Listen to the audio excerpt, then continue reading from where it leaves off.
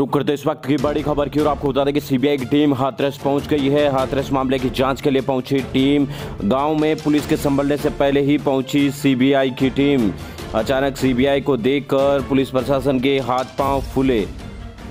CBI ने सभी दस्तावेज़ भी स्थानीय थाने से किए हैं तलब। इस वक्त की बड़ी अपडेट हम आपको दे रहे हैं। आतरश मामले को लेकर सीबीआई की टीम आतरश पहुँच गई है। पुलिस के समझने से पहले ही सीबीआई की टीम स्थानीय जगह पर पहुँच गई है। अचानक सीबीआई को देखकर प्रशासन के हाथ पे फूल गए हैं। पुलिस प्रशासन के अफसरों में अचानक सन्नाटा छा गया है। किसी भी प्रकार की कोई बातचीत नहीं हुई। आपको बता दें कि सीबीआई ने सभी प्रकार के दस्तावेज़ स्थानीय थाने से तलब कर लिए हैं। अभिलेख तलब कर लिए हैं। सबूत गवाह पर सीबीआई ने काम करना शुरू कर दिया है। अफसरों की भूमिका पर भी सीबीआई ने परखना शुरू कर दिया है। इसके अलावा हम जानकारी दें तो कल सीबीआई के कुछ और लोग हाथरस पहुँचेंगे। फोरेंसिक एक्सपर्ट भी आ सकते हैं। हाथरस सीबीआई की एक टीम भी हाथरस है, वो पहुँच चुकी है। इसके अलावा दूसरी टीम भी कल आ सकती है।